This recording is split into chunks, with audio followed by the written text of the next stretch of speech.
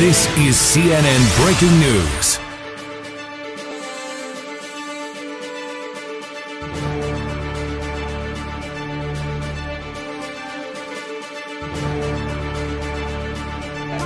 I have waited a long time to tell you the people this one. I have been longing to be your prime minister of this country. I want to represent you, the people of our country. William Marlin can make a change now. Leader of the National Alliance, he's the one that's gonna hold us down. St. Maarten choose William Marlin, number one minister. He keeps his word, he's not a ship jumper.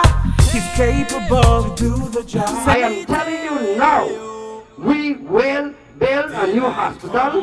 We will make sure doctors are there. We will make sure nurses are in there. We will make sure that the medical position of our country is second to none in the entire Caribbean. in this land. You need to know William is the man. He never backs down, he always takes a stand to make this place better. You need to realize he's always there for us. He's so dedicated.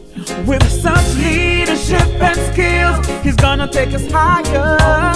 William Marlin can make a change now. Leader of the National Alliance, he's the one that's gonna hold us down. St. Maarten choose William Marlin, number one minister.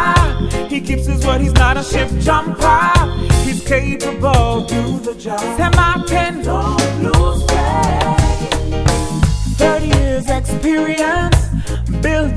schools in this nation.